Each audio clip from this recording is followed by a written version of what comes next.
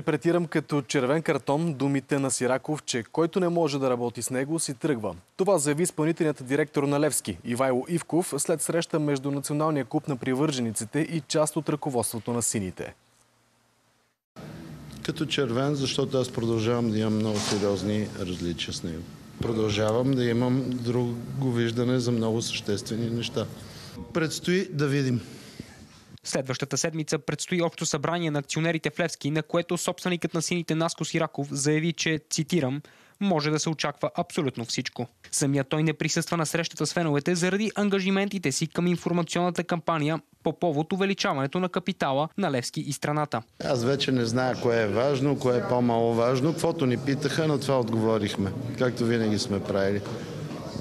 С очи в очи, с а, чисто лице. Сигурно е имало разногласия, но аз не усетих а, някой да е останал неудовлетворен от мой отговор. На срещата присъства и треньорът на Левски Станимир Стоилов, който бе лаконичен в изявлението си. Просто бяха минала среща някой перфектно.